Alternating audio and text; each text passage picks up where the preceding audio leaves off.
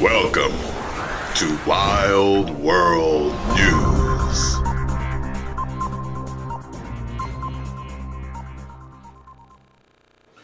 What is happening, Magnusites? Uh, I meant to cover this yesterday, but I was just so damn busy. So, for some Wild World News, this is very, uh, you know. So it says 51 adult migrants found dead in tractor trailer in San Antonio. Survivors hospitalized. This is crazy.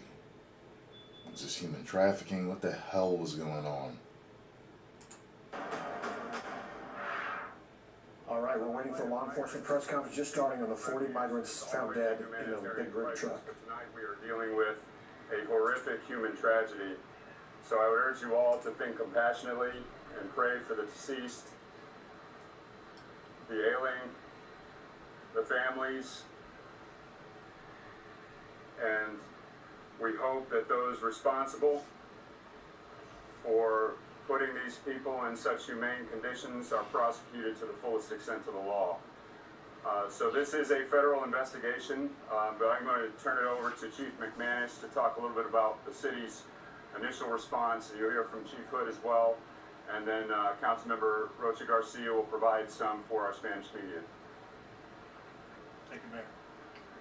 So I, I want to emphasize that this is preliminary information and it could change. So the first call came in at about uh, 10 minutes to 6 this afternoon. Uh, fire, a worker uh, who is, works in one of the buildings up here behind me uh, heard a cry for help, came out to investigate, found a, a trailer with the doors partially open, uh, opened them up to take a look, and found a number of um, deceased individuals inside. So we have three people in custody. We don't know if they are absolutely connected to this or not. Um, this investigation has been turned over to HSI. It is now a federal investigation. Turned it over to them about probably two hours ago. But right now we've got three folks in custody. Um, and again, this is all preliminary information. I'm going to turn it over to Chief Hood. Uh, good evening, Charles Hood, San Antonio Fire Department. Approximately 6 this evening, San Antonio Fire Department responded to 9600 Quintana Road for a report of a dead person. Engine 52 arrived and uh, found the trailer, as Chief McManus mentioned, uh, with a body outside and, and several that they could visibly see inside once the doors were opened. Um, at this time, we have processed approximately 46 bodies that have been triaged and tagged and uh, declared deceased at this time. Fortunately, we were able to transport 16 people. 12 of those are adults and four pediatric. All of them were conscious at the time upon transportation. Uh, first patient was transported at 7 minutes after 6, with the last one being transported at uh, 6.57. So a mass casualty with triage involved, it went very smoothly and very quickly. The patients that we saw were hot to the touch. They were suffering uh, from heat stroke, heat exhaustion, uh, no signs of water in the vehicle. It was a refrigerated tractor trailer, but there was no uh, visible working AC unit on that rig. Uh, at this time, we have uh, released all our companies back in service. We use approximately about 60 firefighters, 20 fire engines, and 10 medic units, of which we transported um, to various local hospitals uh, throughout this city. So it is our hope and prayer that the conditions of those that were transported will improve as we speak. Uh, we are currently putting those 60 members through critical incident stress debriefing. Again, uh, we're not supposed to open up a truck and see stacks of bodies in there. No. Um, none of us come to work imagining that. So we're working through the uh, behavioral health for our folks right now. Uh, I'll turn this back over to Dr. Garcia and answer any questions that you may have later. Can you just confirm that the number, the numbers that, that you just gave? Yes, sir. 16 transported, uh, 12 of those adults, four pediatric, and uh, 46 that are deceased. Chief, what were the conditions of those that were transferred? Uh, all heat-related injuries and uh, no fatalities of peds that we know of. Thank. How, how could that many people be in the truck for that long? Buenas noches, soy la concejal Rocha García del Distrito 4 y estamos aquí muy tristes. right, so you've been uh, watching a quick law enforcement Wow. briefing on what happened in San Antonio just after 6 o'clock when uh, the fire department first on the scene uh, was responding to a call 46 people dead inside a semi trailer rig. Uh, apparently, immigrants, uh, illegal immigrants brought into this country. Uh, another 16 people taken. Heather, we just heard that, and four of them are, are children. Well, and so now all the fire crews, yes, as we, as we heard uh, from fire officials, we said that all those crews now, for fire anyway, are back and, and med are back in uh, service. And so already thinking about addressing the emotional needs that those people will need to have met after seeing what they did, dozens and dozens of people Man. stacked in the back of this not uncool tractor trailer, no ventilation at all, no water either. So of course, we're gonna continue to follow this during this newscast and Fox 4 News at 10 and of course Good Day in the morning as well. We'll be right back. Man, that is wild. I'm just thinking to myself, like,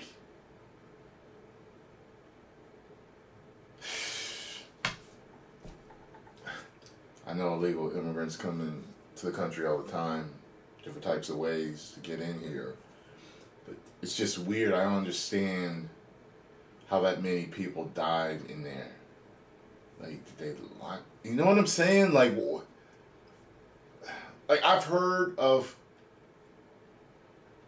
people being transported in those, you know, y'all know what I'm talking about, those um those containers.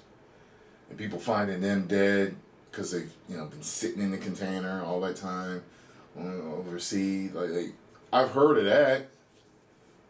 But I don't understand, like, if you're driving a truck, you can stop to, you know, feed them or give them water or whatever it is. You know what I mean? I, I don't. I don't. Apparently, there's much more to this story. I'm just sitting here like I don't understand what the hell's going on here. But I guess uh, we'll talk about it as as more you know comes you know available to the story. Um, so wait a minute here. It says death toll rises to 51. And trucking company says 18 wheeler with 51 dead inside was cloned by human smugglers? What? Alright, hold on here. Let me let me see something here. Alright. President Biden called the deaths of 51 migrants in the back of a tractor trailer in San Antonio horrifying and heartbreaking. Governor Abbott blames the president's border policy for those deaths. The medical examiner has identified 34 of the victims, some of them teenagers believed to be younger than 18. Fox 4's Lori Brown joins us now with the story. Lori. Heather, the investigation into the migrant smuggling operation is now in federal hands. And It is still unclear why the driver of the big rig abandoned the truck on the side of the road and how long it was sitting there for. Yeah, okay, now I see. Homeland Security Secretary Alejandro Mayorkas says ICE is conducting the investigation about what led up to the deaths of the migrants with the support of San Antonio Police and U.S. Customs and He Border abandoned them, so that's how they died. in a tweet, Well, at least that's what it smugglers are sounds. callous individuals who have no regard for the vulnerable people they exploit and endanger in order to make a profit. While little new information was released Tuesday about the investigation, That's Monday night San cold-hearted Antonio police said they had three people in custody. A city employee working nearby made the horrific discovery after hearing a cry for help from inside the big rig. We're not supposed to open up a truck and see stacks of bodies in there. Um, none of us come to work imagining that. 16 people, four of them children, were found barely alive.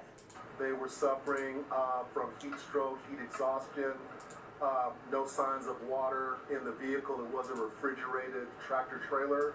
but there was no uh, visible working AC unit on that rig.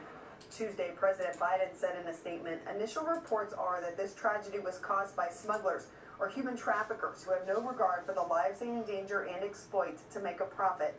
This incident underscores the need to go after the multi billion dollar criminal smuggling industry preying on migrants and leading to far too many innocent deaths. Governor Abbott directly blamed the president. These deaths are on Biden.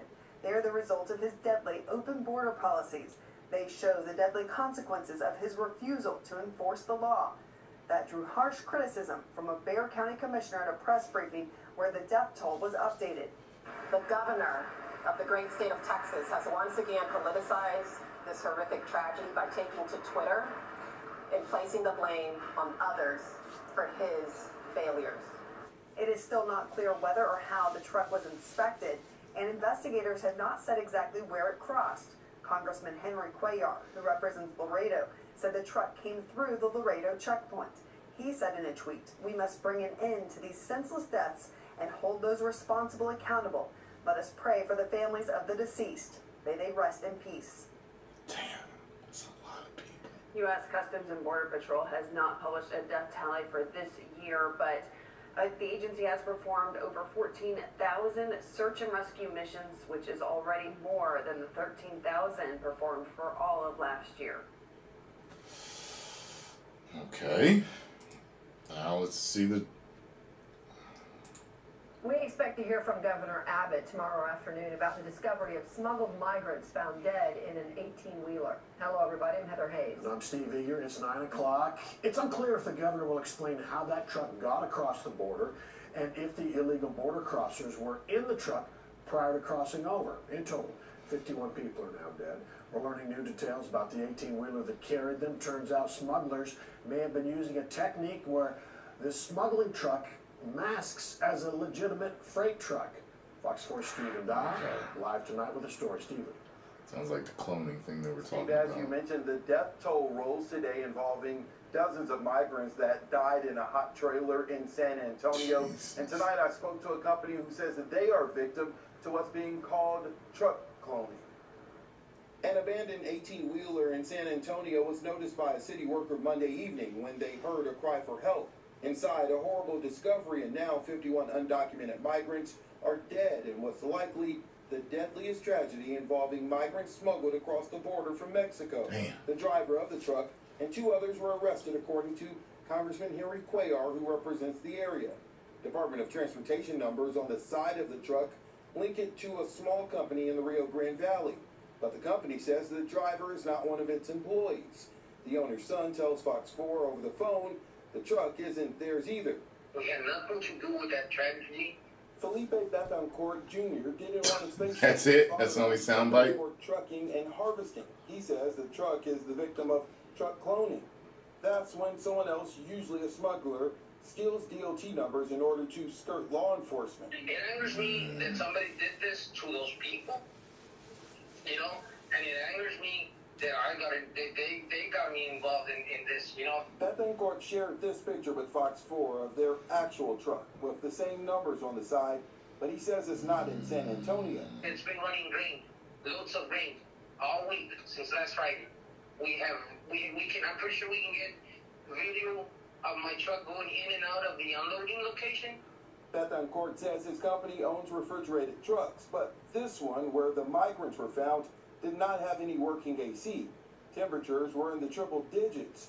The victims inside that truck didn't have access to water, and many of the surviving victims suffered from extreme dehydration and heat stroke. And while Betancourt tells Fox 4 he doesn't know anyone personally who's fallen victim to truck cloning, it's not uncommon. Last August, Homeland Security took a driver and 10 migrants into custody in Arizona. They were inside a cloned Border Patrol vehicle. The driver wore a fake uniform. As for the investigation, we know the victims came from Mexico, Guatemala, and Honduras. The medical examiner will work to fully determine the cause of death, and authorities will work to identify the victims. Officials say it was hard to identify ages, but they believe some of the victims are teens. Some of them are under the age of 18, but we have to ask you to understand that what we have in materials there to try and identify the individuals cannot be at this time perfectly matched to the individuals. Hmm. A similar incident happened back in 2017 in San Antonio when 10 migrants died in a vehicle hit at a Walmart parking lot. Also, Really? the owner of the company stressed to me that no law enforcement agency has reached out to them, but they said media was contacting them and they wanted to get out in front of this and say that they had nothing to do with that tragedy. Wow. Listen, I'm from coming from someone who's done different jobs. One thing that I did was I used to load tractor trailers. You have no idea, unless you've ever been in one, how hot they get in the summer. Who knows? To kill, I could see it possibly being able to kill some people overnight. That's how hot it gets in these trailers. When I used to work for Pepsi, I used to have to go into trailers to get stock out to bring it out to stock stores and build displays. Incredibly hot. So, between those two jobs that I had, man, they couldn't have been in there for more than a couple of days. You got all that body heat too? Oh my god, man. Like Yeah, I don't I can't see someone surviving. I remember how hot that got. I I can't see someone surviving a whole day in there. Not joking. A whole day. So if he dropped them off at night and ran, that next day is what killed him. That's what I think. Phew. Post comments down below. Uh, let me know your thoughts on this story, any extra details you might have, and, and I'll see y'all in the next one. Oh my God.